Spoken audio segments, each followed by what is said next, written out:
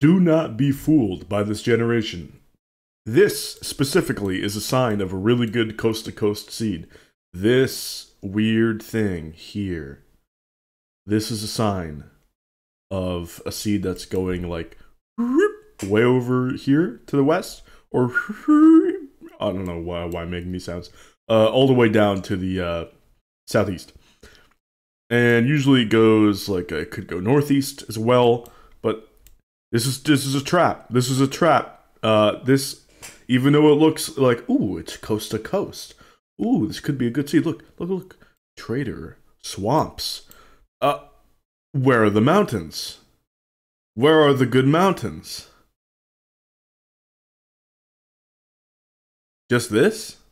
Where are the good mountains? And this is the problem.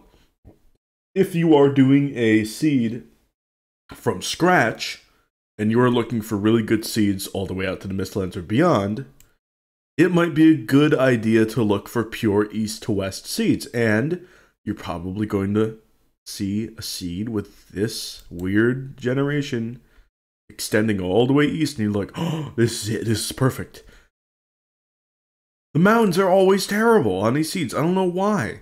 The mountains are god awful. Look at the mountains on this island. They're terrible. Your silver grind, your frost cave grind, awful. Awful, awful, horrible, horrible. Don't do it. Don't ever do it. Okay.